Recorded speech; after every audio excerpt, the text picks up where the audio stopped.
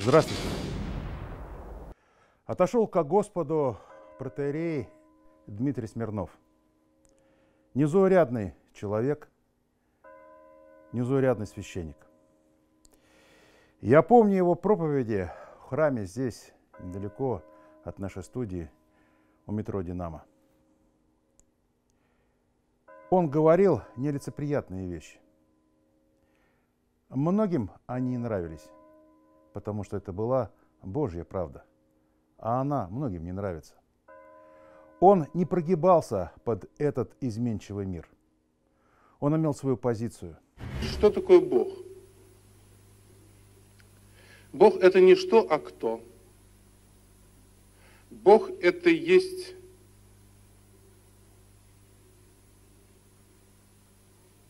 Дух, который есть начало всему, который есть Творец и имя которого есть любовь. Точка. Он был настоящий православный батюшка. Даже обличая грех, он делал это с любовью. К нему тянулись люди. Исповедаться, поговорить, посоветоваться. Человек намечтает себе и думает, что духовная жизнь – это взять, открыть молитвослов, зажечь лампаду и встать перед иконами. Нет. Это еще не духовная жизнь. Духовная жизнь – это когда ты зажег лампаду, открыл молитвослов, встал перед иконами, только сказал во имя Отца и Сына и Святого Духа, а тебе говорят, Вась, ты за молоком не сходишь в магазин? И вот тот момент, когда ты закрыл молитвослов, взял целлофановый пакет, вот в этот момент началась духовная жизнь. Почему? А потому что ты смирился, оставил свое занятие, которое для тебя очень дорого, ради любви к ближнему, ради своих детей. И пошел и это сделал. Потому что кому нужны твои молитвы, если нет никакого плода? А смирение – это главный плод духовной жизни. Знаете, я должен вам признаться, что многие фильмы, которые вы видите на нашем канале, сделаны по благословению отца Дмитрия Смирнова. Его благословение, его слово было настолько сильным, что произведения, которые мы делали, снимали, все проходило как по маслу. Это говорит о том, что этот человек от Бога обладал даром любви, а нет ничего выше этого. Потому что любовь все переживет. Все кончится, а любовь останется. Отец Дмитрий Смирнов. Современный Златоуст Русской Православной Церкви.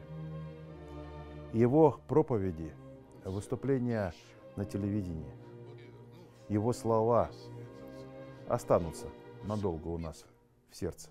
Последний раз я получил от него благословение на одно дело.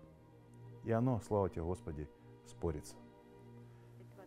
Надеюсь, что так будет и дальше. И Он не оставит нас, будучи там, на небе. Сейчас мы вам покажем несколько выступлений отца Дмитрия Смирнова. Это отрывки из интервью, которые он давал нам в разное время, по разному поводу. Говорил, не обличая, не уничтожая людей за их ошибки и грехи. А еще раз повторю, говорил это с любовью, с сожалением, с возможностью пройти туда, куда мы все стремимся. Дверь всегда туда остается открытой. Путь, правда, тернист к этому месту. У подножия Божьего. Он его прошел.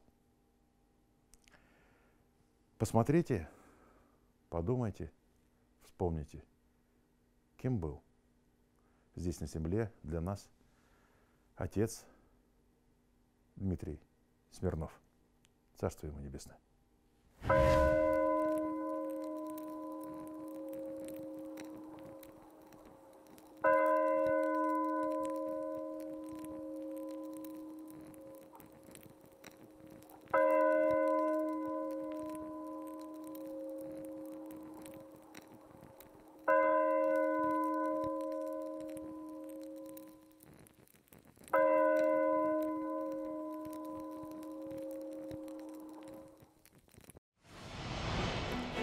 Сентябре 1904 года в Казани произошло преступление, которое положило метафизическое начало и революции в России, и периоду иконоборчества.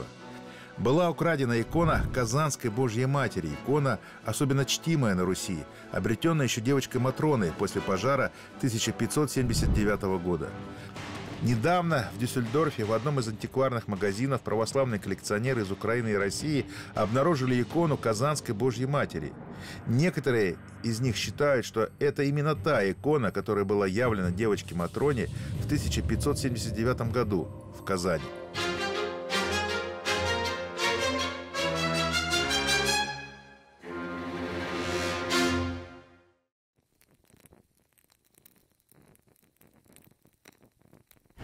Очень часто бывает и такое, что сама икона обращает человека не только э, ко Христу, но и непосредственно в православие. Я сам в молодости наблюдал такой э, процесс э, в музее Андрея Рублева. Приходили люди совершенно далекие от церкви, начинали трудиться ну, на разных поприщах в музее Андрея Рублева, через несколько лет становились православными. Вот. И э, поэтому, конечно, э, вот в иконе есть две стороны. Первая сторона – это духовная. Э, икона – окно в мир невидимый. Даже вот э, обратная перспектива, которую мы видим на иконах э, древних, она как бы на это указывает, что как будто мир невидимый на нас смотрит с той стороны. Поэтому перспектива сходится на земном зрителе. Вот, подчеркивает вот эту связь. А так, конечно, икона, а, она есть еще и искусство. А, ну вот как, допустим, древние египетские саркофаги. Их роль а, была исключительно духовная. Даже вот эта прекрасная живопись, которой они расписаны, она вообще не предназначалась для глаз людей. Вот, а сейчас уже люди э, любуются этим колоритом, линией, и даже многих побуждает изучать э, письмо древнеегипетское и узнавать историю э, и духовность. Вот, поэтому этот процесс такой двузначный. И интерес к иконе, особенно у германцев – он давно. Еще в начале 20 века несколько немцев в России очень интересовались и коллекционировали русские иконы. Было даже несколько таких коллекций. А, в этом смысле гораздо раньше, чем русские. Потому что древняя икона, она как бы исчезла под Алифой. И вот э, в этом процессе реставрации участвовали еще и немцы. То есть э, в начале 20 века Россия открыла для себя свою икону. Когда был снят слой черной олифы, обнаружилось там совершенно чудесные краски, линии, совершенно потрясающее искусство который ни с чем не сравнить. И оно, это искусство само по себе сражает всех. Людей, которые чувствительны к красоте.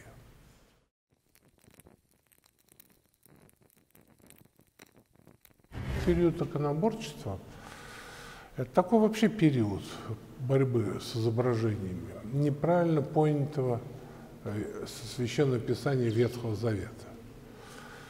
Э, то есть если в современном э, валютном исчислении то в это время уничтожены иконы на триллионы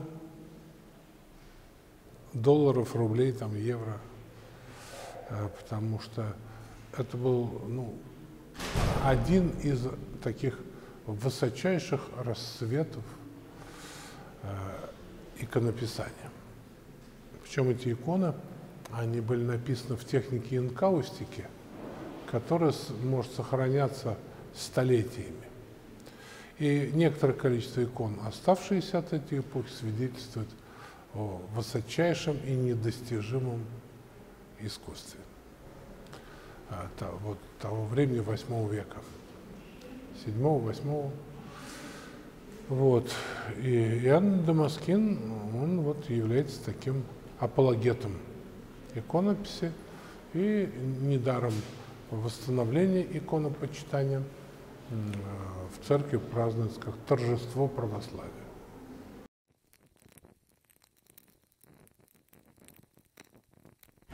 Он э, за свои писания ему отсекли руку, и он молился перед иконой Матери Божией, держа отрубленную кисть, и она приросла без всякого хирургического вмешательства. И продолжал действовать. Вот, поэтому вот такое чудо явно свидетельствовало о том, что его слово и его подвиг э, угоден Богу. И даже возникла иконография такая особая, икона Матери Божией Троеручица, то есть изображает руку Иоанна Дамаскина, которая была отсечена, и вот таким образом э, вернулась на свое место.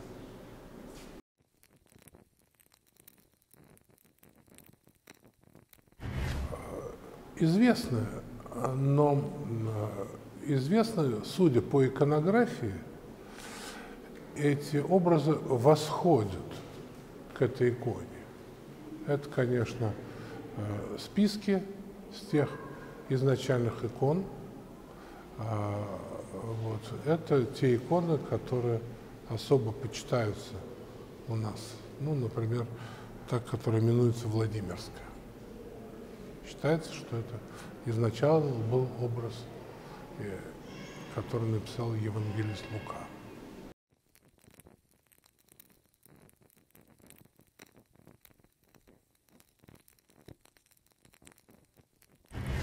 Так оно и есть, этот обрус известен с древности. И даже он, а, помимо всего прочего, а, когда был спрятан в стене над вратами, а, то отпечаток субруса остался и на керамике, которой была выложена вот эта ниша, где он хранился. Поэтому два таких нерукотворных образа на убрусе на керамике стали основой и иконографии.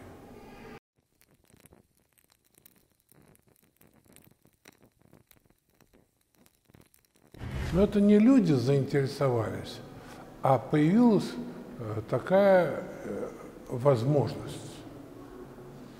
Всякий интерес к церковности, он перестал преследоваться. Поэтому, ну и потом э, такой талантливый человек, как Владимир Солоухин с его книгой «Черные доски». А, тоже он был очень популярен среди такой интеллигенции, патриотически настроенной. Вот. И э, свои мысли на этот счет как-то он э, обозначил в пространстве. И э, сам, конечно, не шибко воцерковленный человек, но начал собирать коллекцию. Илья Глазунов начал собирать такую коллекцию. И так а, более или менее, а, ну вот, я тоже помню эти годы, и некоторые круги художников знал. Вот, и, и дома художников, они вот, украшались. И литьем медным и иконами. В общем, все, что находилось, чрезвычайно ценилось. А потом некоторые из них составили довольно приличной коллекции. Но на самом деле это был всегда еще великий русский художник Павел Корин. У него была замечательная коллекция икон, куда до сих пор э, водят э, школьников. Э, поэтому это э, такая стезя, она никогда не зарастала. Просто вот более или менее она сужалась, э, либо вот превращалась в такую широкую дорогу. Русская икона – это особое уникальное явление, и среди икон там балканских, например, или западных, э, или греческих, ну, русскую икону сразу видно.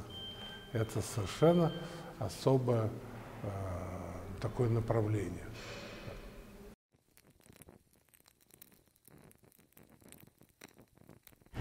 Ну, я не знаю, ну, миллионы. Как она сохранилась, не знаю, может быть, процентов 10.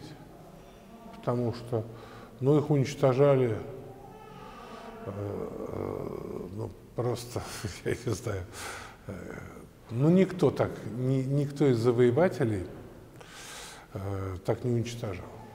Ну, например, я знаю, что некоторые руководители Третьего рейха – составили себе очень хорошие коллекции русских икон. Их искали специальные команды и отвозили туда, в Германию, во время войны, с оккупированной территории. А, вот. А у нас, конечно, ну, какая-то часть икон была сохранена, ну, которые оказались а, ну, в коллекциях музеев, вот. Ну и потом по домам еще очень много осталось. Конечно, эти до сих пор иконы всплывают на всяких таких специальных рынках. И вот наш храм, вот этот и другой, тут все иконы, все сохраненные иконы. Это у нас как раз предел посвящен XIX веку. Здесь все иконы до одной, это вот такие найденные, поштучно, отреставрировано. И поэтому вот, э, кивоты сделаны. И здесь в нашем храме присутствует икона начинает с 17 века и кончает 21 Можно э, вполне экскурсию водить по истории иконописи последнего э, тысячелетия, вот, вернее полутысячелетия.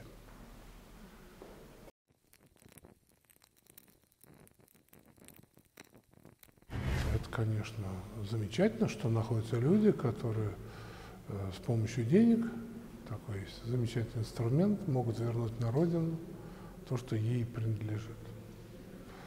это, конечно, может только поклониться. Потому что так глубоко, как русские люди, никто не сможет это понять и постичь, потому что каждая икона нам родная. Мы видим в ней и духовную составляющую, и красоту непередаваемую. Ну и непередаваемую. таких, собственно, искусствоведов, специалистов по иконе, такие есть только в России.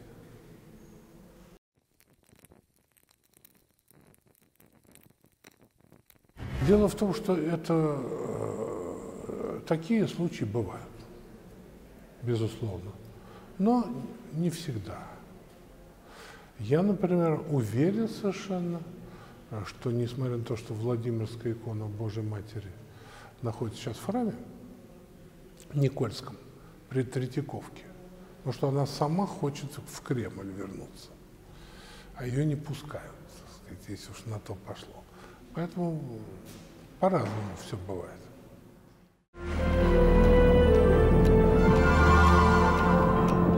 Кровожадный Молох этот финикийский демон, насыщавший свое чрево человеческими жертвами, и сейчас пожирает молодежь и детей. Мир культивирует порог и создает ему официальное обоснование – ЛГБТ.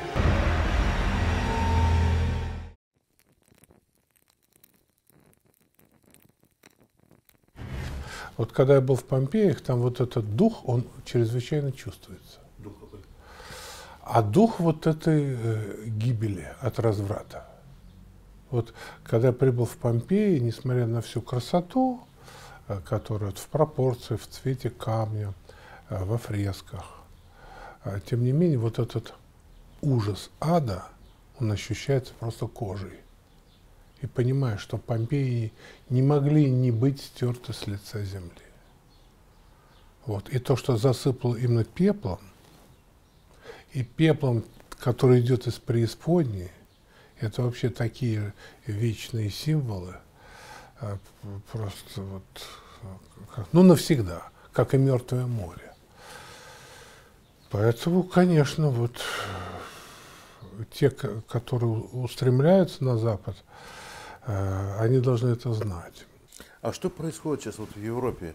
Отец Дмитрий, вот... В Европе то же самое, что и во всем мире. Благодаря средствам массовой коммуникации происходит промыв мозгов. И э, используются такие, ну, Богом созданные э, ну, человеческие преимущества. Например, э, что человек, э, как еще древние язычники заметили, э, животное общественное. Вот. И делали же психологически даже эксперименты. Вот берут зал, там 500 человек, и э, вызывают и говорят, вот на сцене э, квадрат. Какого цвета? Он говорит, белый. Потом начинают все подряд выходить, да как уже он белый, он черный. И тот на глазах у всех начинает сомневаться, а потом говорит, он черный. Потому что он поддается тому, что называется общественным мнением. А что такое общественное мнение? Это когда 8 газет повторили одно и то же. Или 7 каналов телевизионных. Одно и то же. Одна и та же картинка, одна и та же интонация, одна и та же насмешка. Особенно дети. Дети очень боятся насмешек. Поэтому они готовы, э, так сказать, под, э, вот, под таким давлением э, и хоть от папы и мамы отречься. Я вот э, знаком с такими случаями, когда э, богатый папа чтобы отомстить своей бывшей жене, нанимает психолога, и потом, когда мама в очередной раз, ну, потому что папа богатый, и суд присудил детей, конечно, папе. Но мама э, может ходить к ним раз в неделю. На третий, пятый свой приход дети маме говорят, мама, а ты могла больше к нам не приходить? Более того, спустя 10 лет они также ничего не хотят слышать о своей родной маме. Если детдомовцы, которые никогда не видели маму, тратят годы, чтобы ее найти, то та мама, которая их родила, выкормила, не, отрица, не отрекалась от них, благодаря работе психологов, она отвергается собственными детьми. Это сплошь и рядом делается, просто это еще не массовое явление, потому что не так-то много богатых. И потом сам этот богатый, он отдает своих детей каким-то нянькам, потом в какой-то западный колледж, он все равно их не видит. Но чтобы вот отомстить той матери, которая, ну, то ли на его имущество Но руку. зло всегда порождает зло, батюшка. Всегда. Я в курсе. Да, ну вот я просто удивляюсь. Но эти-то люди не в курсе, они же не христиане. Нельзя же подойти э, к клетке тигра и убеждать его стать христианином. Но это наивно. Также эти люди, которым промоют мозги, ведь большинство людей, э, ведь э, вот я очень не люблю интервью с детьми. Потому что дети говорят штампами. Дети штампами пишут э, сочинения, они э, им объясняют, что учителю нужно. И они вот фальшивыми голосами там заявляют, и вот и им все хлопают, все довольны. Но ведь это же, это даже не то, что не искренне, это не осмысленно, это чужие слова. Это, э, ну, для меня, например, это отвратительное зрелище, а все радуются. Вот так же и здесь это э, просто промытые мозги. Ничего в этом нет, э, кроме вот желание взрослых их так вот выучить. И они будут говорить штампом, а ведь, ну, вы как человек, медиафигура, вы же знаете, что большинство людей никак не самостоятельно не мыслят, потому что у них ну, нет, так сказать, ну, не, за плечами сотни прочитанных книг, каких-то выводов, они ничего не знают. Что по телевизору говорят, то и, им не... Единственное, что они к своему такому мнению, в кавычках, еще говорят, я считаю. Но ты считаешь так, как тебя научили. Вот ты так и считаешь. А не потому, что ты благодаря каким-то терзаниям, сомнениям, изучению э, вот погрузился в эту тему и пришел к какому-то выводу.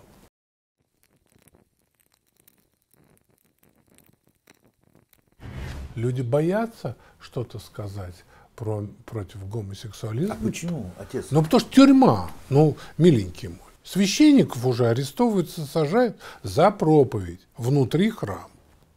Это же есть такие случаи. Мне один епископ в Америке говорил, а я не могу о, это самое, э, уволить священника, если узнаю, что он гомосексуалист. Он тоже через суд восстановится. Понимаете, какой, какой ужас. Страсти. Нам, нам это пока не понять, потому что мы живем в другой стране. Но если к власти придут эти люди, э, то это очень быстро произойдет. Потому что ну, народ, он скажет, ну что связываться, ведь до сих пор у нас русский человек, он боится учителей в школе по старой памяти. Он, он пойдет на что угодно, если ему скажут, что к ребенку будут плохо относиться.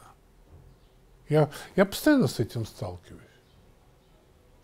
Как вот сейчас э, даже верующие семьи заставляют э, просить, чтобы у них была ну, там, основы этики, а не, э, не основа православия Э, так То есть стесняются своей веры, что ли? Да, стесняются веры, боятся, потому что оказывают давление учитель. Ну что такое учитель? Это самый бедный, э, самый наш, э, ну как, забитый чиновник. И вот скоро уборщицы будут бояться. Что там, тетя маленькая. Все еще исполнены страха. Поэтому он, я помню, так сказать, ну, как моя тетка, она ну, умерла еще совсем не так давно, несколько лет назад, но о некоторых вещах она говорила только шепот. Потому что ее дедушку расстреляли э, как врага народа, она все прекрасно знала, э, как это все бывает. Ну, я вот в Америке, когда был, а, на некоторые темы в своем собственном автомобиле человек говорит только шепот. Это значит, что у него уже привычка. Он говорит, тихо. Потом говорит, мы в автомобиле. Ну, на всякий случай, лучше не привыкать. Некоторые слова ключевые только шепотом. Это в свободной стране. Мы едем в его автомобиль, рассекаем там 55 э, миль в час, э, вот, и он боится говорить в полный голос. Я говорю, ну, интересно. Я из, из России приехал, а тут э, в так называемой свободной стране. Это уже э, некое табу, это не обсуждается. То есть, если ярко и громко говорить против э, садомитов, ну, скажем, в той же Европе или в Штатах, все равно это вызовет, э, ну, такое... Это будут проблемы. У нас, когда сажали на 10 лет, считалось, что это детский срок. Как вот как в этом анекдоте. Сколько у тебя? 25. А за что? Да ни за что. Врешь.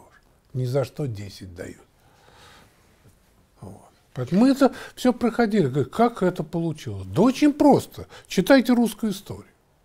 Все то же самое. К сожалению, вот, э, в школе-то историю не, при, не преподает, поэтому новые поколения, они это быстро забывают. Но я-то лично общался, некоторых знаю, которые живы до сих пор, которые отсидели, ну, правда, не полную десятку, потому что там Сталин э, уже умер, и стали их отпускать, реабилитировать. Ну и потом я э, много знаю дел э, своих родственников в нашей семье. Э, больше 20 человек пострадало за веру. Только одна вина, что человек веровал в Бога, и все. Отрекись, и все, и работай там, хоть бухгалтером, хоть, ну, не знаю, учителем-то вряд ли э, давали возможность, а вот каким-то, таким-то, что... Девочка, и думаете, что сейчас может такое быть, если, вот, ну, не знаю, у нас, может, к этому придем, но если это, так сказать... И у нас абсолютно, потому что основная масса народу не просвещена христианством. Она э, кем, э, чем нас просвещают? Астрологией, инопланетянами, вангами, знахарями, э, там еще всякими древними цивилизациями каких-то там гигантов. Но чем только не просвещают, часами, там, кремлевскими любовницами, э, экономикой, то есть основная часть населения страны вынуждена все время рассуждать, сколько долларов, сколько евро, а как будто у нас мешки долларов и евро, нам это все очень важно. А русская история подается очень фрагментарно, либо в каких-то странных фильмах, где все от костюмов до диалогов, все ложь и кич. Но это просто э, Могло бы стать э, ну, орудием просвещения, возвышения народа, о своей вере. Что человек знает? Люди, которые именуют себя глубоко верующим, как только откроют рот, начинают нести такую ахинею.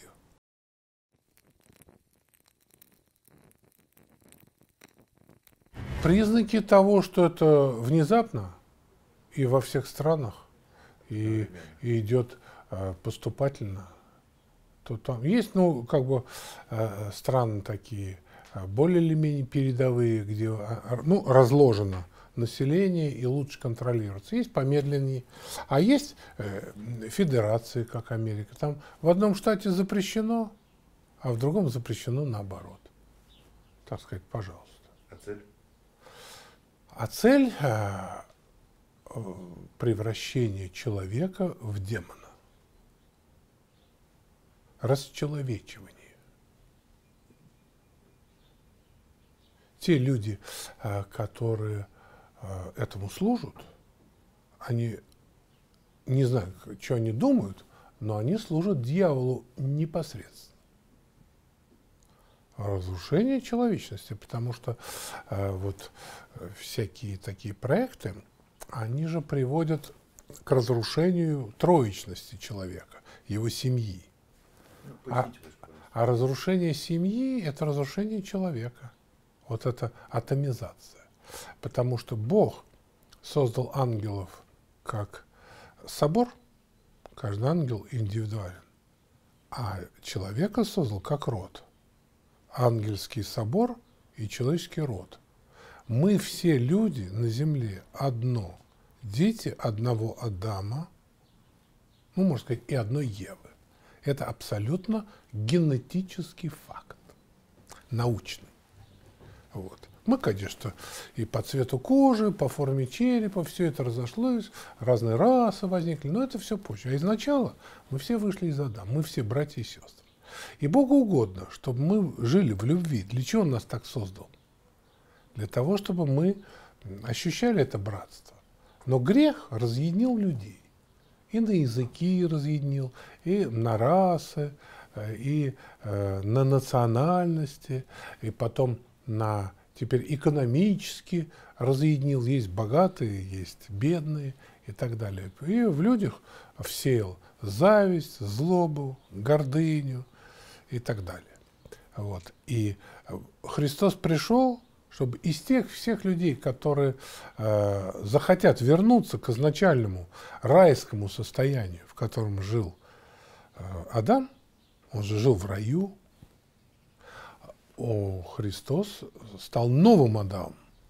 Поэтому те из людей на земле, которые привьются ко Христу, те вернутся к райской жизни, в, в любви жить, потому что э, all you need is love. Все люди нуждаются в любви, на самом деле, и скучают об этом. Но так как он не знает пути, он ищет какие-то суррогаты. Поэтому одни люди, ну, прям откровенно занимаются сатанизмом. Некоторые рок-группы, вот тех персонажей, э, бывших людей, которые вы показывали на улице во всяких таких ну, совершенно конкретных, там, рога, хвосты, они, иконография, понятно, кого они изображают. Это их сущность, просто она отражается и вовне. И а, Христос хочет, чтобы люди вернулись э, в ангельский чин, чтобы были как ангелы небесные, в любви к Богу и друг к другу. И вот это кажется... Существует противоположный проект, да? А эти, да, конечно, они э, устраняют христианскую цивилизацию, через которую может человек обратиться к церкви. Вот человек идет э, по какому-нибудь городу, и он видит храм, а на храме крест. Некоторые удивляются, ну а что большевики колокольни ломали, кресты, ну, сталкивали колокола с колокольни чтобы ничего не звучало о Христе. Чтоб не, если нельзя храм взорвать, он ну, нужен зачем-то, то надо крест как минимум. Чтобы ничего, э, так сказать, не напоминало даже. И Библии изымало, чтобы полностью перекрыть э, все каналы доступа. А зачем? Но новый мир строится сатанинский. Сатанинский. Главный храм – это дворец Советов со статуей Ленина. Ведь вся страна утыкана идолами вот этого антихриста Ленина. Новая религия совсем. Ведь коммунизм – это же религия. А крест мешал этому? Ну, а крест – конкуренция. Потом в кресте же правда. А у них от начала до конца все ложь. Вот все. Землю крестьянам – крестьян превратили в крепостных еще жестче, чем э, вот до 19 века. Потом фабрики рабочим. Ну, кто что получил? Нет, все, э, всем партия управляла, все имела. Потом учредительное собрание разогнали сразу же, как только увидели, что не в их пользу складывается. Абсолютно нелегитимная власть. То есть вообще, какая там легитимность? А почему знак креста, почему за крест э, сажали, стреляли? Я вот, э, для меня, конечно, это было... Так и сейчас в Америке то же самое. Нельзя носить крест на себе. И, и со школьников срывают, и с, э, с, даже э, с представителей медицинских всяких профессий. Выгоняют с работы, как во времена советской власти. Все то же самое. Гонение на крест – это гонение на Христа. Это все дальше и будет продолжаться. Вряд ли это э, как-то сда сдадут назад. А вот эти вот извращенцы-то, они тоже, так сказать... Нет, а их на щит, э, они же, э, они же бесплодны. Они будут сейчас детей всех перерабатывать в себе подобных. И люди будут исчезать, они сами друг друга будут поедать, семьи будут сокращаться, и христианская Европа будет вымирать, и все. Ужасно. Уничтожение всех христианских народов. А для чего? Чтобы человека-убийца, что ли, это действует? Чтобы убить людей? Я думаю, что людей определенных. То есть э, тех, у которых есть Христос в сердце и в уме. Которые хотят, ну, хоть в чем-то вести христоподражательную жизнь. 1 июня, в День защиты детей, в Благовещенском храме Москвы прихожане поставили 5000 свечей в память 5000 убитых в этот день в чреве матери наших неродившихся детей.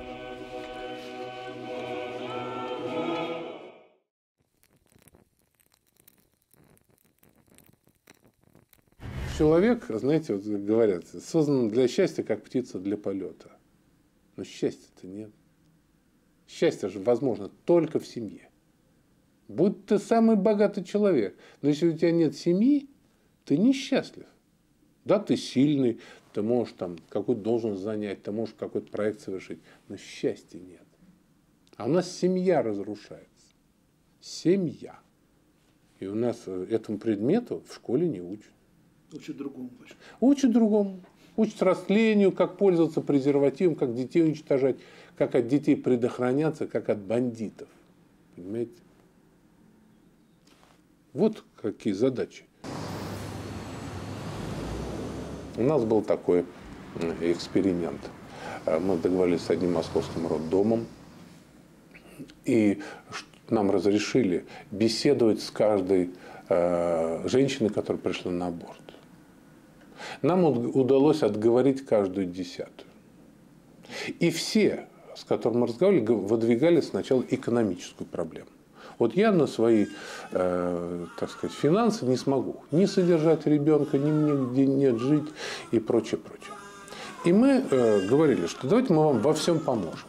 Если у вас нет жилья, мы вас ему предоставим.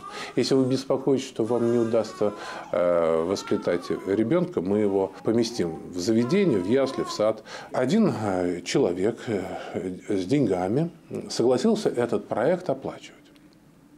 Но в конце года мы потерпели полный фиаско. Почему?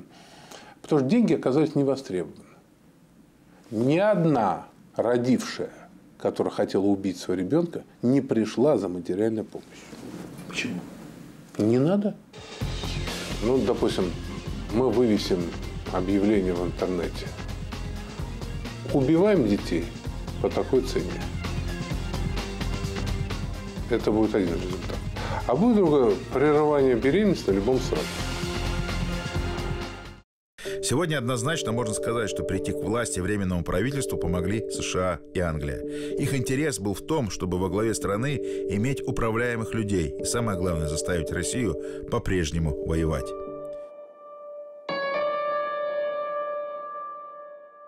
Вы согласны с тем, что корона Российской империи сто лет назад имела сакральное, особое значение для существования такой цивилизации, такой большой страны, как Россия – отец Дмитрий? Для некоторых – да. А для других это просто объект, который можно продать. Почему мы, люди, живущие на этой земле, в России, не нравимся? Какой бы политический строй здесь не был? В чем причина-то? Ну, России Бог по какой-то ему одной известной причине сделал Россию с ее недрами чрезвычайно богатой. И, конечно, человек, который занимается бизнесом, то есть он делает деньги, ему вот этот лежащий такой э, и бриллиантовый золотой кусок, он не дает спать. Бессонница – это мучительное состояние души. И поэтому, как так? Вот Мадлон Олбрайт тогда заявила, ну какая... Это несправедливо с точки зрения англосаксов, что Россия такая богатая. В этом вся. И еще. Вот сколько потрудились и Шиф с товарищи, и Свердлов с товарищами, вот, и ну, весь этот объем недругов. Ну, казалось бы, все убито. Нет. Она опять уже в, в, в какой раз собирается и опять Америка вынуждена побаиваться и как-то вот очень осторожничать. Поэтому это опять нужно опять откладывать вот эту э, победу э, уже вот-вот, которая совершилась. И сейчас э, все маски сброшены. Очень удивительная такая история. Никак... Теперь даже никто не говорит слово конспирология все, на, все настолько устали от всяких этих вещей, что мы просто вот включаем украинское телевидение и смотрим э, Октябрьский переворот, да. как он делается. В прямом эфире? Да. В прямом эфире наши же люди, ну, немножко говорят, э, украинский чуть-чуть отличается, а так все, все совершенно ясно. Мы видим, что по всему миру происходит. И совершенно откровенно люди говорят, э, уже не стесняясь, не маскируясь, э, ни какие-то обороты речи не используют. Поэтому все от начала до конца вся русская история – это сплошная, сплошные войны, которые для того, чтобы защитить нас, чтобы дали нам возможность жить, как мы хотим. Отец Дмитрий, скажите, пожалуйста, а почему наша церковь тогда, в те годы, вот 905-917, не смогла удержать э, в духовном смысле ситуацию под контролем? Церковь была в тяжелом положении. Упразднено патриаршество, главой церкви стал император. И э, с этим э, пришло много вирусов. Конечно, отдельные личности были и святые, и выдающиеся, но в целом, когда церковью управлял оберпрокурор э, Святейшего Синода, э, уже это было не каноническое управление церковью. Это очень был тяжелый период э, нашей церковной истории.